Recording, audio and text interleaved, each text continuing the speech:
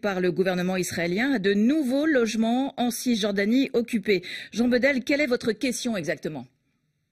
Euh, alors, euh, j'aimerais savoir euh, pourquoi l'Israël fait, fait, cette annonce seulement au moment où la Palestine annonce la négociation entre ces deux factions, le Fatah et le Hamas.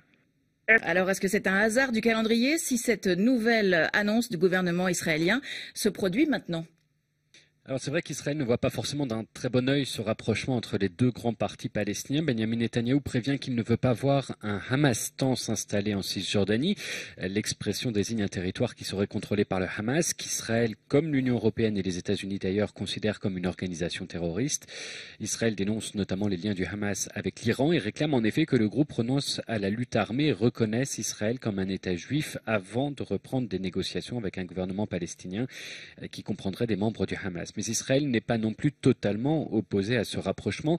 D'abord parce qu'elle est soutenue par l'Égypte, qui est l'un, euh, ce rapprochement soutenu par l'Égypte, qui est l'un des, alliés d'Israël dans le monde arabe, et que le gouvernement ne veut pas d'une crise diplomatique avec le Caire. Ensuite, parce que ce rapprochement doit permettre une amélioration de la situation humanitaire dans la bande de Gaza, et que la détérioration de cette situation inquiétait de plus en plus les responsables sécuritaires israéliens. Ils craignaient que le Hamas, pris à la gorge sur le plan intérieur, ne se lance dans une nouvelle guerre contre Israël. Or, les services de sécurité israéliens ont aujourd'hui plutôt les yeux rivés vers la frontière nord.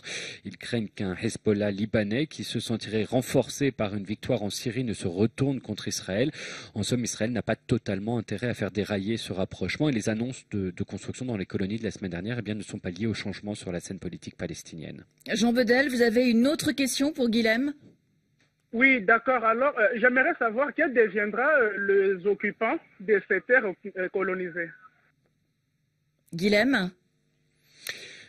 Juste un point peut-être, revenir sur le, des raisons peut-être de politique internationale qui expliqueraient quand même ce, regain de, construction dans, les colonies. En fait, Benjamin Netanyahu gouverne avec un parti pro-colon qui réclame ces constructions et même l'annexion de pans entiers de la Cisjordanie. Mais jusqu'à la fin de l'année 2016, le Premier ministre israélien devait concilier cette pression interne à sa coalition avec une pression internationale. Sauf qu'en 2017, eh bien, la donne a un petit peu changé. Le président américain, notamment, n'est plus le même et contrairement à tous ses prédécesseurs, eh bien, Donald Trump ne condamne pas la colonisation. Il est entouré de juifs qui finance cette colonisation. C'est le cas de son ambassadeur en Israël et de la famille de Jared Kushner, son, gendre et son conseiller à la Maison-Blanche.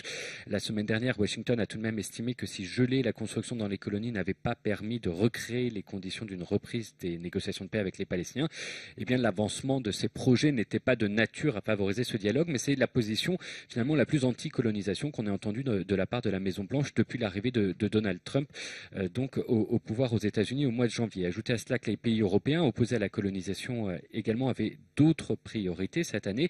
Euh, la France était en pleine année électorale. Le Royaume-Uni doit lui négocier le Brexit. Tout ça fait que les critiques européennes se sont moins fait entendre également et que le gouvernement israélien a pu faire euh, avancer ses projets.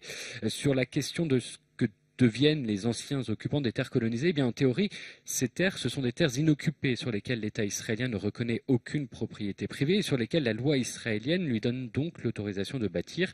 Sur le principe, il n'y a pas d'expropriation de Palestiniens. Ça, c'est pour la théorie, car en pratique, il y a bien eu des cas où ces terres se sont révélées en fait appartenir à des Palestiniens. C'était le cas d'Amona, par exemple. La Cour suprême israélienne a reconnu que les terres sur lesquelles les colons s'étaient installés appartenaient à des Palestiniens. Après une longue bataille judiciaire, la colonie a finalement été évacué en février, en février dernier. À ce moment-là, il y a eu un débat politique en, Israël afin d'éviter que ce genre d'évacuation ne se reproduise, les députés ont approuvé un texte qui permettrait de racheter les terres sur lesquelles les colonies ont été construites lorsque celles-ci sont finalement reconnues comme privées. Un rachat que les propriétaires ne pourraient pas contester. Ce projet de loi a été dénoncé comme un vol de terre par l'organisation euh, la paix maintenant et il fait l'objet de procédures judiciaires pour empêcher qu'il ne se transforme en loi appliquée sur le terrain.